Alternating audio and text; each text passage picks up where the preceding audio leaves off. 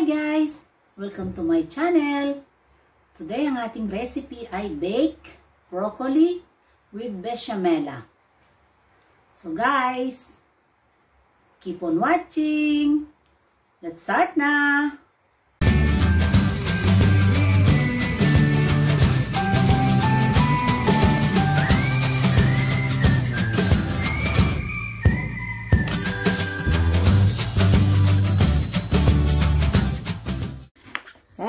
Kunin nyo rin ang stem ng ano, ng broccoli. Masustansya ito. Balatan nyo lang. Tapos siwain. Masarap na masarap. Favorite ko to. Nakain nyo lang hiwain. Ganyan.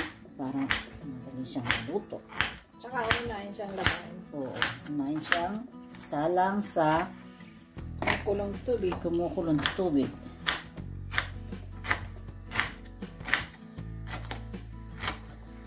Guys, painit na ako ng tubig. Lala natin ng dalawang kutsarita.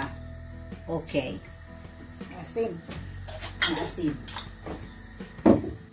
Kumukulo na guys ang ating tubig. Lagay na natin ang broccoli.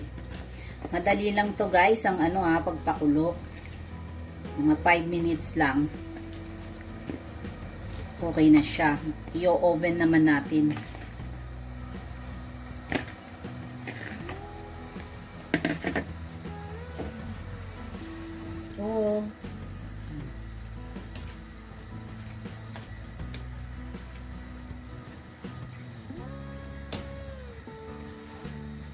5 minutes.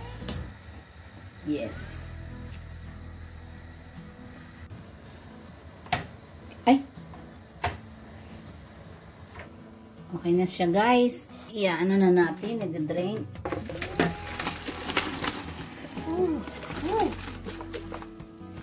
Kunti lang para medyo malutong na ilyo. Oven pa natin.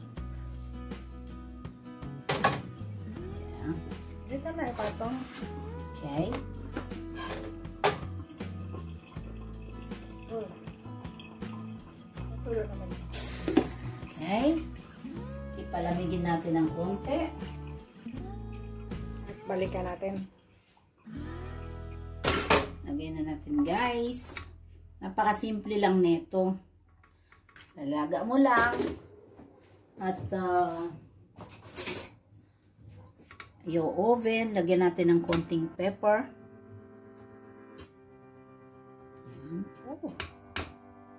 Usok pa mo. Okay, lagyan natin ng konting pepper.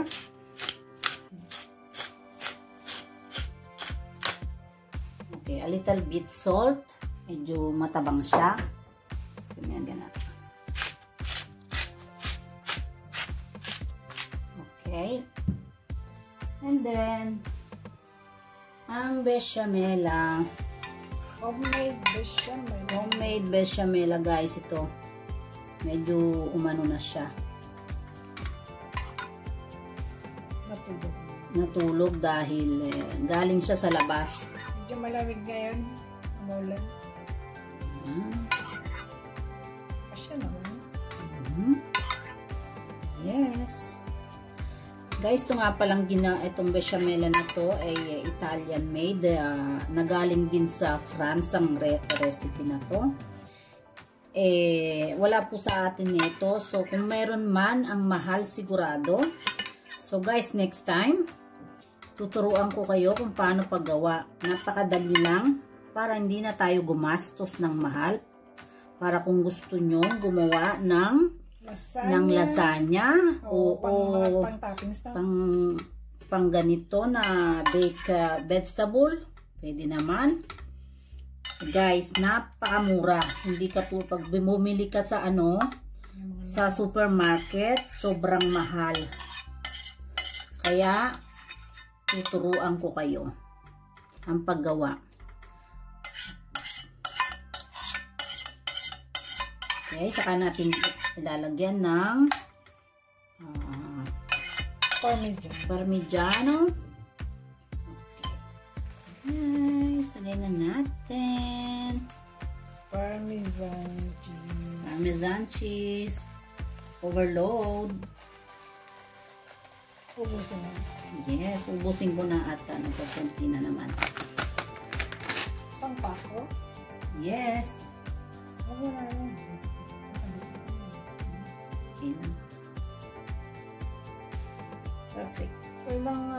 I-oven? Yes, mga mga ano lang, 15 minutes. Pag nag ah, mag ah, medyo krokante na siya, ah, ano ba yung crunchy sa sa taas at tunaw na yung kanyang cheese. Okay guys, see yung 15 minutes. Okay. Put it there.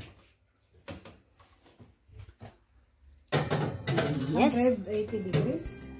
Yes. 90 degrees. Cel- Celsius.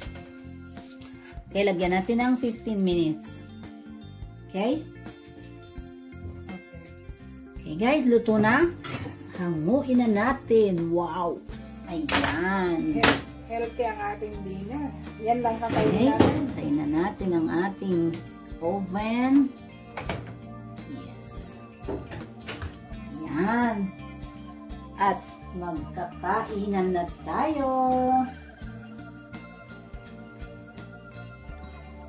Mainit yan. Yes, Ito na. ito. Ayan. Yan. Guys, kain-kain na. Ting, mukhang napakasarap niya. Wow, crunchy po yung kanyang ano. Patay ng pang. Spatula. Ito, ito, ito. Uh-huh.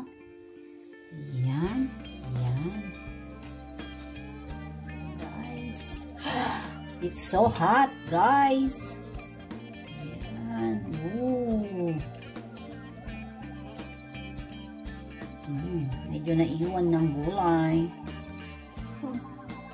Ewan sa ilalim. Hmm, Wala.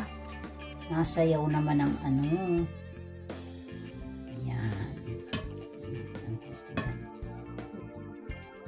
Kain tayo guys.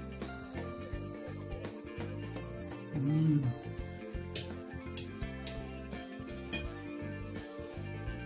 Init.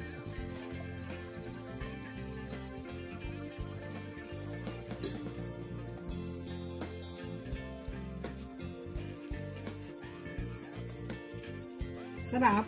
Mm. Sarap.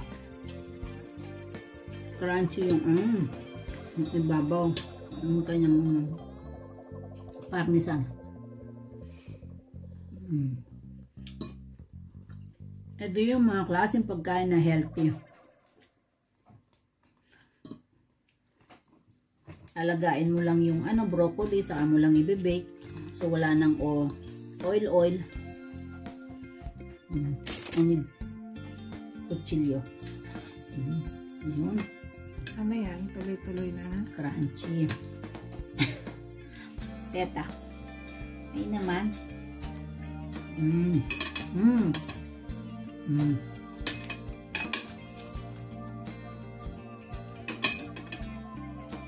Sarap.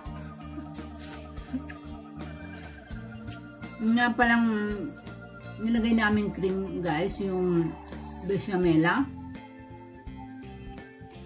Tuturo ko sa inyo yon Sa isa pa akong vlog gagawa tayo ng bechamela dahil sa atin nga napakamahal ng nitong bechamela. Tsaka wala, wala Baka sigurado. Baka wala sa atin. Napakadali lang. Ano lang, milk lang at tsaka arena. Pero sasabihin ko sa inyo kung paano paggawa ay tuturo ko rin. Sa isang araw gagawin natin yun guys. So guys, napaka-healthy at kung nagustuhan nyo ang aming video, just try this. Broccoli. Broccoli, baked broccoli. Sarap. Kaya kung di pa kayo nakakapag-subscribe, subscribe na po kayo. Like and share na rin at pindutin ang notification bell para lagi kayong update sa mga susunod ko pang mga video. Thank you guys! See you on my next vlog. Bye-bye! Bye.